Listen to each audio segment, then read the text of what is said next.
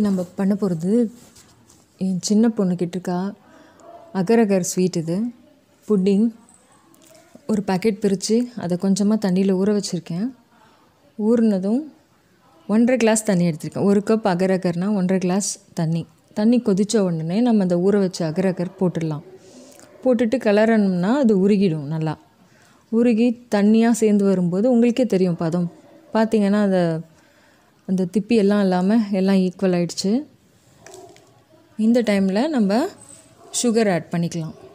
ஒரு கப் அகரகருக்கு அவங்கவுங்க டேஸ்ட்டுக்கு ஏற்ற மாதிரி நான் ஒரு கப் போட்டிருக்கேன் சுகரை அவங்கவுங்க டேஸ்ட்டுக்கு ஏற்ற மாதிரி இனிப்பு அதிகம் சாப்பிட்றவங்க இனிப்பு அதிகம் சேர்த்துக்கலாம்.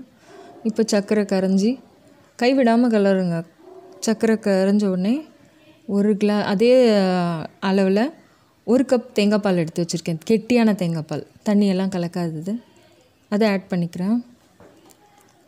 ஆட் பண்ணி கலந்து வந்தவுடனே நம்ம அடுப்பு அணைச்சிடலாம். டேஸ்ட்டுக்காக ஒரு பிஞ்ச் சின் ரொம்ப கம்மியாக உப்பு சேர்த்துக்கோங்க. இப்போ கரெக்டாகிடுச்சு அது ஒரு மாதிரி குழ குழப்பாக எண்ணெய் பத மாதிரி இருக்கும். நம்ம இறக்கிடலாம். நீங்கள் எதில் எந்த ஷேப்பில் பார்க்க கட் பண்ண ஆசைப்படுறீங்களோ அந்த மாதிரி ஒரு பாத்திரத்தில் அதை ஊற்றிக்குங்க பாத்திரம் இல்லாதவங்க தட்டிலே நம்ம ஊற்றலாம் சின்ன சின்ன லேயர் போடுறதுக்கு ஏற்ற மாதிரி.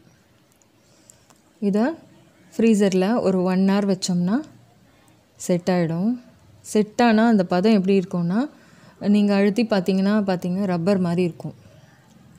அதுதான் அதோடய பதம். ஆ நல்லா செட் ஆகிடுச்சு இப்போ நம்ம பீசஸ் போடலாம். ஜனனி தான் அதுக்கு ரொம்ப ரெடியாக இருக்கா? அவளோட விஷ் இன்னைக்கு. பாருங்கள் இப்படி நம்மள ஸ்லைஸ் போட்டுடலாம்.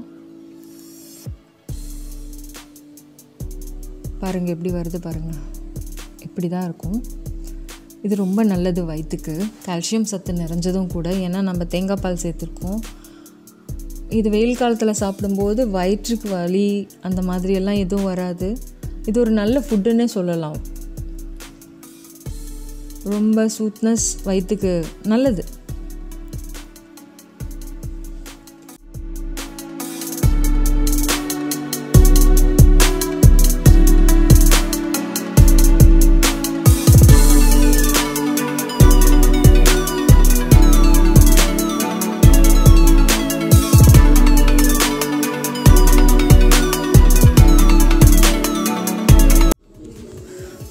பூஜா ஓவரு நான் ஒரு கிராஃப்ட் பண்ணலான் இருக்கேன். இது வர வர வீடியோவில் உங்களுக்கு தெரிய வரும். இது ஒன்றும் இல்லை. எங்கள் வீட்டுக்கு போர் போட்டப்போ அந்த டேரோ பம்ப் அதோட கவர் இது. எனக்கு ரொம்ப பிடிச்சிருந்தது அதோட ஷேப்பே நல்லா டிஃப்ரெண்ட்டாக இருக்கேன்ட்டு எடுத்து வச்சிட்டேன்.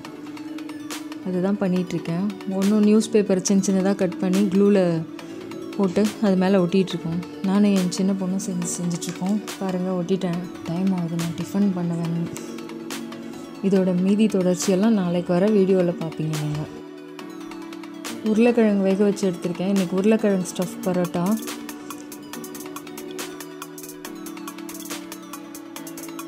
இதில் வெங்காயம் பச்சையாகவே சேர்த்துப்போம். ஏன்னா நம்ம அதில் பரோட்டாக்குள்ளே தானே வைக்க போகிறோம். நல்லா வெட்டி வச்ச வெங்காயம் அவங்கவுங்க தக்குனப்பில் எடுத்துக்கோங்க. கொத்தமல்லி சேர்த்துட்டேன். இன்றைக்கி நான் எடுத்துருக்கிறது என்னென்னா பச்சை மிளகா கொஞ்சம் ஒரு ஸ்பூன் எடுத்திருக்கேன். இது வந்து மேகி மசாலா. ஒரு பேக்கெட் மசாலா சேர்த்துருக்கேன். கொஞ்சம் உப்பு ஆட் பண்ணிக்கோங்க. மஞ்சள் பொடியும் ஆட் பண்ணிடலாம். இது வந்துட்டு மிளகாய் பொடி கரம் மசாலா.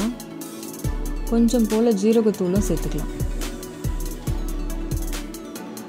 சேர்த்து எல்லாம் கலந்து வர்ற மாதிரி பசைஞ்சிக்கணும். எனக்கு இன்னும் கொஞ்சம் ஸ்டஃப் வேணுன்றதுனால திருப்பியும் உருளைக்கிழங்கும் இஞ்சி பூண்டு பேஸ்ட்டு சேர்க்குறேன்.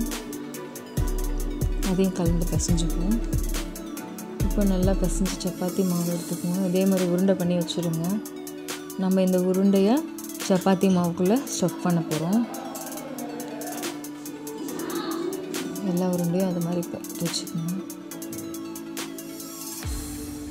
இப்போது சப்பாத்தி போட்டிருக்கோம். ஸ்டஃப் பண்ணி சப்பாத்தி போட்டிருக்கோம். இது என் குட்டிங்க எல்லாத்துக்கும் ரொம்ப பிடிச்சது. சப்பாத்தி நான் கையிலே இந்த மாதிரி போட்டு எடுத்துருவேன்.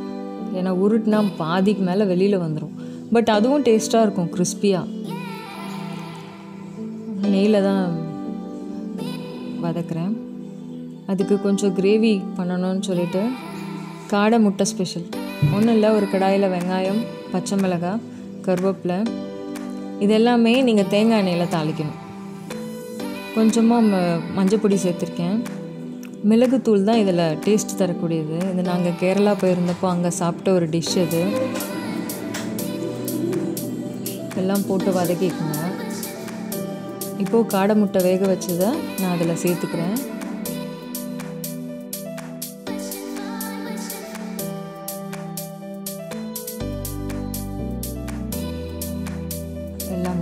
முடிஞ்சிருச்சு மிளகுத்தூள் மட்டும்தான் இதில் காரம் மிளகுத்தூளும் பச்சை மிளகாவும்.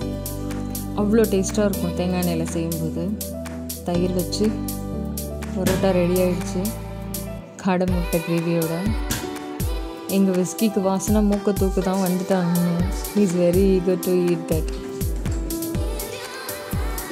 thank you for வாட்சிங் ஃப்ரெண்ட்ஸ் உங்களுக்கு இதில் ஏதாவது பிடிச்சிருந்தாலும் ஒரு லைக் கொடுங்க. இன்னொரு வ்ளாகில் சந்திக்கிறேன். பாய்